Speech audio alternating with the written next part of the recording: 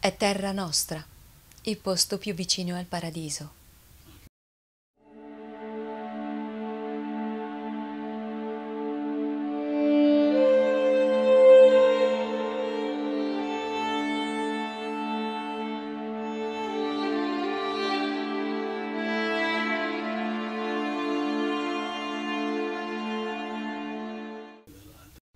Femminicidi, violenza sulle donne, divorzi. Sembra lo spazio degli avvocati, ma è una triste realtà che segna e insanguina la nostra società. La insanguina e la annichilisce. La insanguina e distrugge l'avvenire di tante ragazze e di tanti ragazzi c'è da chiedersi come ciò sia possibile dopo duemila anni di cristianesimo che dell'amore ha fatto la sua bandiera.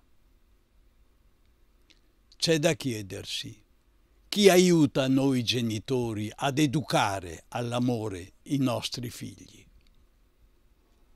C'è da chiedersi se la nostra Chiesa, quella di Belluno e Feltre, si è posta il problema. È convinzione comune alla scienza e agli educatori che i bambini dovrebbero fin da due anni imparare e sperimentare cosa significa essere amati e amare nella società. La Chiesa che fa catechismo non può ignorare il problema, ignorerebbe la sua stessa essenza.